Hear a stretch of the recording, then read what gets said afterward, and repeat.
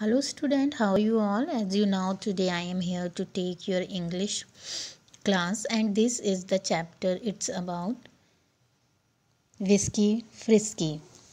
Chapter number 14, page number 107. Connect. What animal would you like to have as a pet? Why? तो कौन सा animal है जिसको आप अपना पैट एनिमल बनाना चाहते हैं और क्यों reflect what kind of a pet would you like to have active lazy और नोटी गिव अ रीज़न यहाँ पे पूछ रहे हैं आपको कौन सा पैट है जो पसंद है, जो एक्टिव रहता है लेज़ी या जो नटखट होता है काफ़ी, है ना? आपको रीज़न बताना है. Imagine if you were to become your friend's pet parrot dog और cat for a day how would you spend the day आपको मतलब इसको इमेजिन करना है कि आपके फ्रेंड्स के पास जैसे पैरेट है डॉग है कैट है। है ना? तो आप इसके साथ कितना दिन रहते हैं या कितना स्पेंड कर ये इसको आपको करना नहीं है सर, सिर्फ़ आपको इसको सोचना है ना? इमेजिन करना है।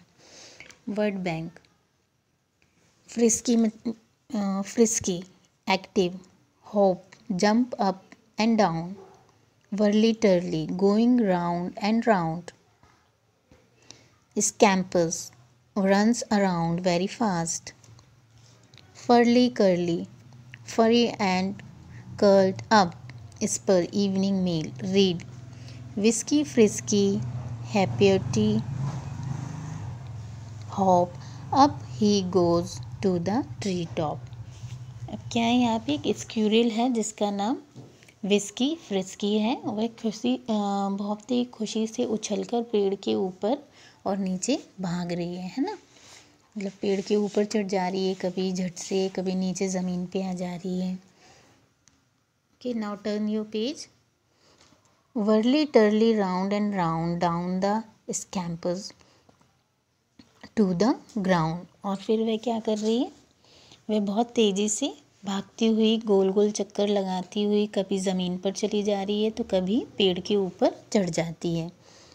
Furry curly water tail tall as a feather broad as a snail अब जो उसकी टैल है वो कैसी है? पूछ बहुत ही घुंघराली है लंबी है और स्नेल जैसी चौड़ी है। स्नेल को देखा होगा ना आपने जो ऐसे ऐसे चलता है पीछे शी शैल होता है उसको? उसको स्नेल बोलते हैं ना। Where his spur in the shell snappy cracky out it fell उसका खाना कहाँ है? शैल के अंदर। फिर क्या हुआ? जो शैल था वो आ, क्रैक हुआ फटा और उसका खाना बाहर निकल गया।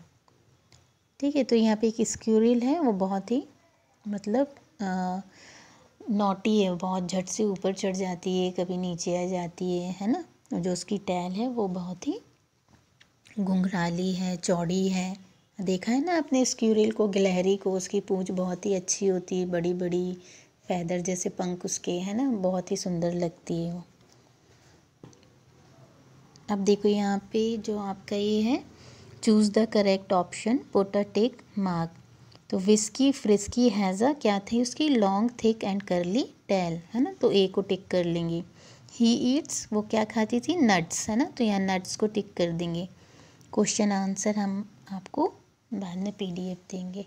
Okay bye bye take care